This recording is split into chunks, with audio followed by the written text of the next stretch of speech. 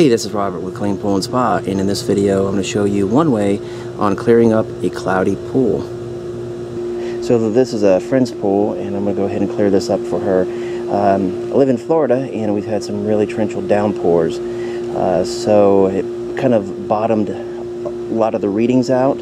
So uh, I went ahead and took the readings. Now, before you go out and run to the pool store and get all kinds of flocs and algicides and clarifiers and phosphate removers and everything else like that, be sure that you take your readings because that's going to dictate how you clear up your water. So I'm going to go ahead and show you the readings that I got. Okay, so these are the readings. Uh, chlorine is at 2.0, pH came up actually at 7.6. Um, the alkalinity was at 130, so I put a little bit of acid in there, it got it down to 80, but then because of the three days of rain, it dropped again to 50, and then the calcium hardness 280 and the cyanuric acid is at 40. So the first thing that I'm going to do before um, I shock the pool or anything is I want to get that total alkalinity up to around 80 to 100 parts per million. That's the range is, is 80 to 100. What I want to do is start at 80 right now and then uh, work my way up. So I have my bag of Arm & Hammer baking soda here. Uh, this is the exact same stuff that you get at the uh, pool store, uh, either pH up or alkalinity up. It's going to be either sodium carbon or sodium bicarb.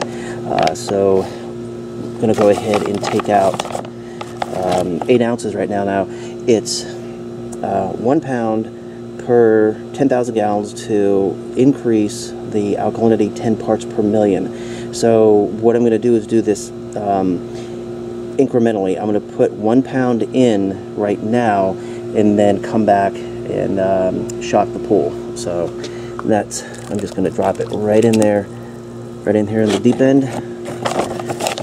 Going to do another one.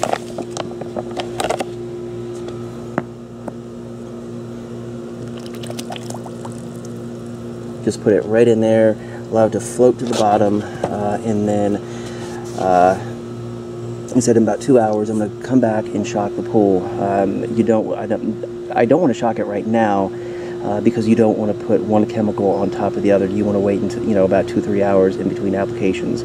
So we'll be back.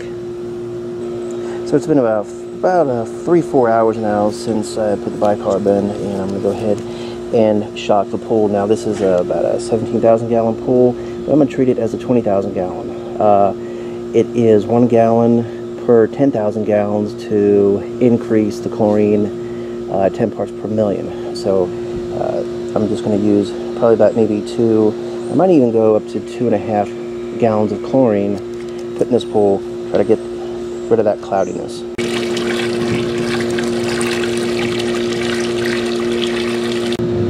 Because chlorine is heavier than water, uh, I need to sweep very well.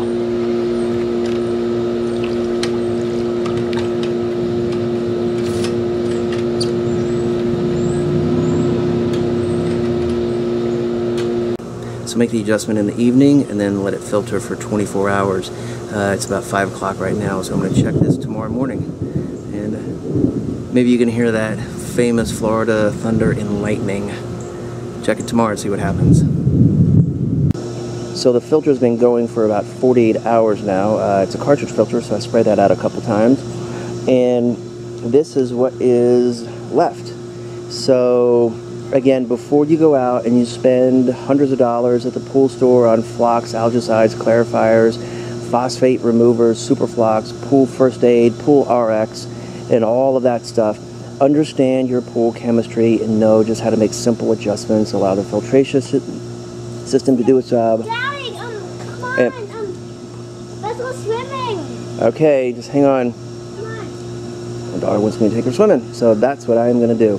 So anyway, um, check out the description box below, link to my website, cleanpoolandspa.com. Lots of great information over there. Like, subscribe, and comment here. And if you want a personal pool consultation, please just check or uh, tick the box right there, click on that, and you can talk to me personally so your pool can look this good. So there's my daughter. I'm going to swim with her. Have a great day. It's a beautiful day in Florida. See ya.